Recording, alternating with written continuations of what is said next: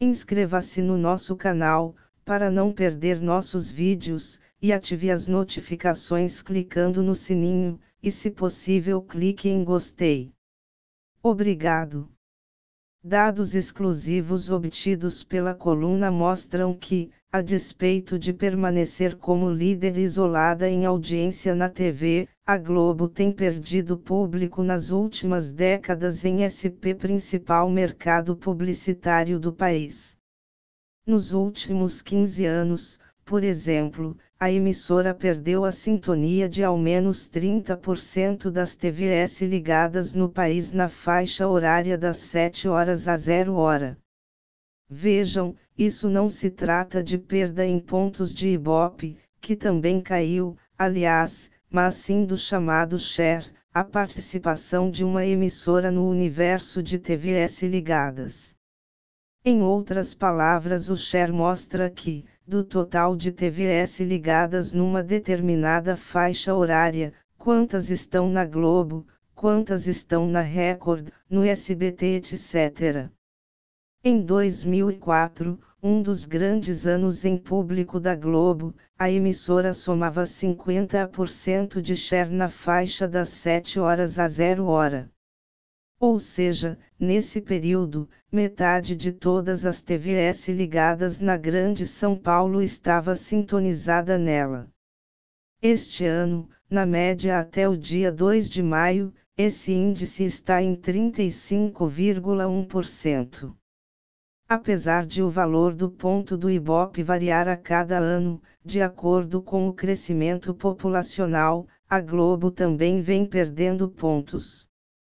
Em 2004 ela tinha uma média de 21,7 pontos, 7 horas a 0 hora.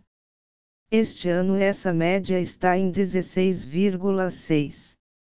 Hoje cada ponto na Grande São Paulo, segundo a Cantaribope, equivale a cerca de 72 mil domicílios ainda uma líder solitária. Apesar disso, a hegemonia da emissora ainda é tão grande que não há como vislumbrar nem no médio nem no longo prazo alguma outra emissora que possa ameaçar sua liderança.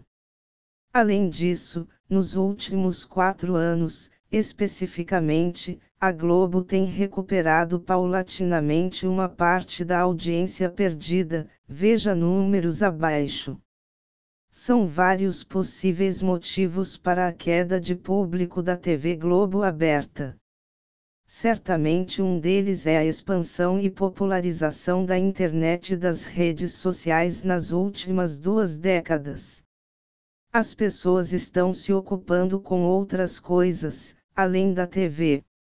Outro motivo é a também expansão da TV por assinatura nos últimos anos, mas, neste caso, o próprio Grupo Globo tem se beneficiado, dos canais mais vistos na TV paga, a maioria pertence à Globosat. Dos 50 programas mais assistidos na TV fechada, por exemplo, 45 são exibidos por canais Globosat. Veja abaixo a média histórica em pontos e share, por cento, da Globo desde 2000, em SP, das 7 horas a 0 hora 2000, 20,0 pontos e 43,9% 2001, 19,2 e 45,2% 2002, 20,13 e 46,9% 2003, 21,0 e 48,7% 2004, 21,7 e 50,1% 2005, 21,0 e 47,3% 2006, 21,4 e 47,4% 2007, 18,7 e 43,0% 2008,